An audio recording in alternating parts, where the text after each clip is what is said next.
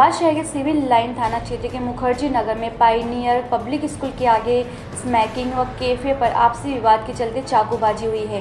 वहीं चाकूबाजी में मृतक आदर्श त्रिपाठी घायल हो गया, जिसे जिला अस्पताल उपचार के लिए ले जाया गया है।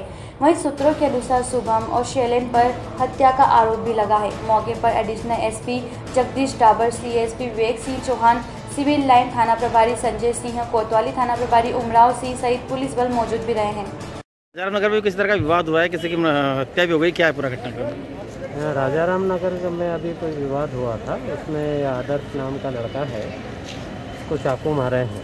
अभी उसको हॉस्पिटल लाए हैं और डॉक्टर देख रहे हैं और बता रहे हैं कि वो उसकी मृत्यु हो चुकी है। थाना प्रभारी सिविल लाइन मौके पे पहुँच गए हैं और वहाँ पर जहाँ घटना हुई है, वहाँ पे भी थाना प्रभारी कोतवाली को भेज दिया है। और पूरा विवाद का कारण अभी पता कर रहे हैं क्यों झगड़ा हुआ है क्या विवाद हुआ है अभी प्रारंभिक जानकारी है सर जिस तरह से आप बता रहे हैं कि शायद मामूली बात पे विवाद है तो ऐसी कोई बड़ी बात तो नहीं थी कुछ?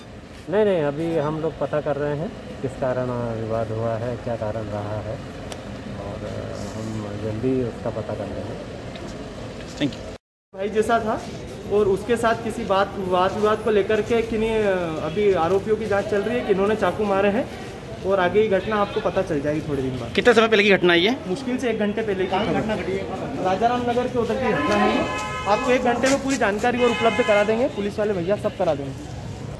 देवास से राजेश पवार की रिपोर्ट।